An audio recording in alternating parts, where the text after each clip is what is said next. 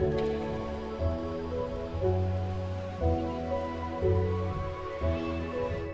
Hey, what is going on guys? In this video today, we're going to be going over how to be successful with the charged shotgun in Fortnite. Like I mentioned in one of my previous videos, calling the charged shotgun a controversial weapon would honestly be an understatement. It seems like people either love it or hate it, and there's really no middle ground whatsoever. Now in the first 24 to 48 hours of the season, I was one of the people that thought the charged shotty was absolutely useless but I've actually started to change my opinion recently. And the main reason for that is because certain pros are starting to become very good with the charged shotgun. Some players are starting to showcase how deadly the weapon can be if you really know how to use it. I'd kind of compare it to like the building mechanic when Fortnite was still a brand new game. For the first few weeks or so, nobody really used building because they weren't sure how to. But then guys like Ninja and Myth started showcasing the power of it, and from there, I guess you can say the rest is history. I'm definitely not saying the charged shotgun is as game-changing as building was, but it's a weapon that has this new charge mechanic that Fortnite's never had before, so it makes sense that it may take a while before players really know how to use it. So without further ado, let's get right into some tips. Alright, so hands down the most important tip I can give you for being successful with the charged shotgun is to abuse right hand peeks when using it. Due to the way the weapon's charge mechanic works, no matter how fast you tap and release your trigger to fire, there's always going to be a very noticeable delay.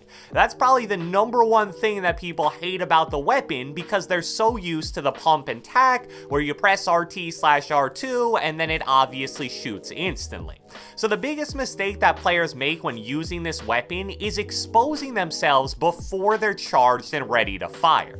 Let's say you're right hand peeking around a wall and waiting for an enemy to round the corner. You don't want to pop out and then press the fire button. That's obviously what you do with a pump or tac, but again, the charge is totally different. Due to the delay, you're basically going to expose yourself wide out in the open for a solid half second while the weapon fires. Instead, you want to hold the charge button for a split second while still behind cover, then you pop out and release the trigger. When you do that, not only are you spending considerably less time out in the open where the enemy can shoot you, but you're also much more likely to be accurate since you don't have to time the delay. The reason why you only want to hold the charge for a split second in that situation is that you don't want your enemy to know you have a charged shotgun. The sound it makes when it gets to max charge is so distinct and loud that it totally gives away your position. But if you only charge it for a bit, you still get really good damage and you can make much quicker and more sneaky plays. Another situation where charging while right hand peeking is super important is when you're making an edit play on someone. Let's say you take their wall and you want to go for the all-reliable middle window edit. If you leave your body exposed while making that edit, you're going to be in a lot of trouble. The pullout time after editing for the charge is really slow, and again, you still have to worry about the actual charge time, so it honestly takes about a full second for you to go from confirming the edit to actually being able to shoot. So if you're just standing in the middle of the edit like most people do, you're going to be a really easy target for your enemy to hit. So instead, what you want to do is position your body in a way that you can right-hand peek the opening you made in the wall, charge your shotgun for a split second like we talked about, then pop up and fire. Another major mistake that prevents players from being successful with the charged shotgun is not utilizing its range. I feel like a lot of people look at the charge and basically think, well, it does a lot of damage per shot and it shoots really slow, I guess it's pretty much the pump. So then they run around with it and use it the exact same way. Now obviously that's not the worst thing in the world because those two shotguns do undeniably have some important similarities, but the range of the weapons is a massive difference. With the super nerf pumps that we've used for the last 8 plus months, you basically had to be at pretty much point blank range to deal any kind of considerable damage. Maybe you could get away with taking a few steps back if it were a purple or gold pump, but definitely not with the blue or under ones. The charged shotgun on the other hand is a whole different story. I'd honestly say its range is more similar to the combat shotgun than it is to the pump or even the tac. Even with the low rarity charges, you can consistently hit for 100 plus damage at roughly 10 meters away if you can get it anywhere near full charge. And here's why that range is so important in this current meta. SMGs are absolutely dominating the game right now and have been for the last 4 to 5 months or so. If you let an enemy get close enough to your body to where they can barrel stuff you with a P90 or regular SMG, it's over for you.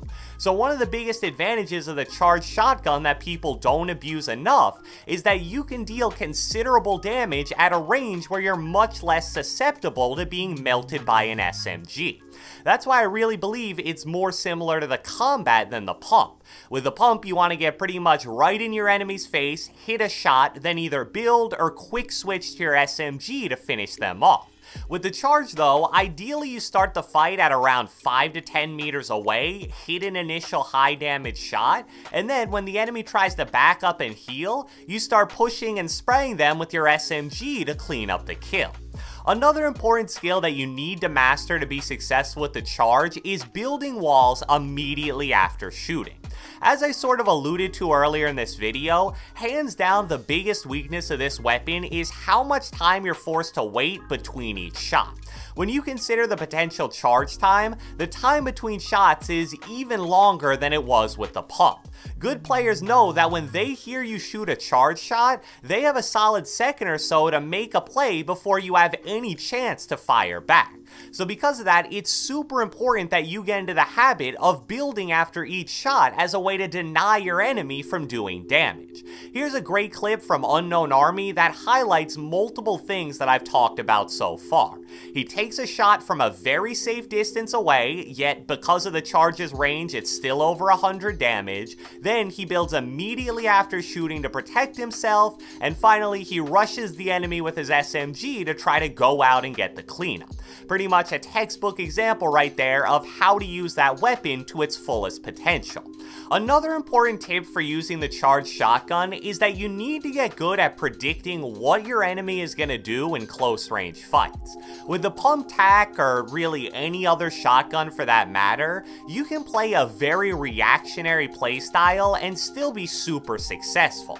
If a guy edits through your wall and you aren't really predicting it, as long as you have a solid reaction time, it isn't a huge deal. But with the charge, that isn't the case at all. If you get caught off guard and an enemy sort of surprise pushes you, most of the time you simply won't be able to shoot fast enough because of the charge mechanic. So I know you guys have probably seen some of the funny clips where the player just stares at an enemy behind a wall with their shotty at full charge waiting for them to make an edit. And obviously that's not how you want to play in most situations because good players will know how to counter it. But in some regards that mindset is actually correct you're going to have to learn how to predict edits and various other plays that players make in certain situations. If you can do that, the charge is great because you'll have a high damage shot waiting for them, and if you can't, you're probably going to struggle with the weapon a lot. The final thing I want to emphasize in this video is so important even though it sounds so simple. You need to practice using the charged shotgun if you want to be good with it. I truly believe that the charged shotgun is the most unique meta weapon ever added to Fortnite. It totally changes the way you aim because it's the only weapon ever that shoots when you release the trigger instead of when you press it. Now unfortunately, the charge hasn't been added to creative mode yet, at least not at the time I'm making this video, but luckily there's two workarounds. The first is to just load into Battle Lab, loot chests like normal until you get a charged shotgun, and then just throw the robot grenades and practice your aim by shooting at them. They give off aim assist, so it isn't the worst practice in the world, especially if you're on controller, but it can get boring fairly quickly. The other more popular method if you have a friend is to go into Creative Fill. Yes, it has to be Creative Fill, it doesn't work otherwise. And then load up BHE's 1v1 map. There's a bunch of chests near the ramp, and as long as you open all of them, you're practically guaranteed two charged shotguns that you guys can 1v1 with. So I know it's a pretty bootleg method that you hopefully won't have to do for very long, but for now, it's really the only option to use this weapon in a controlled environment. So I hope you guys enjoyed this video, and if you watched the entire thing, be sure to let me know with a comment down the comment section below. What are your thoughts on the charged shotgun so far, and do you prefer to use it over the TAC? Be sure to leave a like, leave a comment, subscribe, turn on post notifications, do whatever the heck you want, and I will catch you guys next time.